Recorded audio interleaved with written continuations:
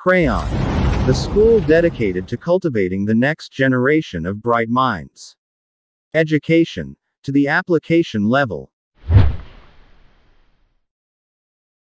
بسم الله الرحمن الرحيم اقرأ باسم ربك الذي خلق خلق الإنسان من علق اقرأ وربك الأكرم the function of leadership is to produce more leaders rather than followers.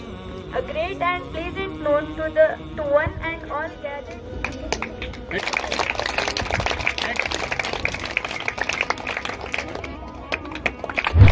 In the presence of all gathered here, I wish to examine your uh, competency to be leader to carry out the commitment entrusted to you. So, let me ask few things to you. First one, uh, as leaders of our school with various responsibilities, are you ready to abide the rules and convention of our institution? Yes. We do so. Okay, next, as a student leaders, are you willing to discharge your duties to the fullest satisfaction of your superiors? Yes, we do, sir.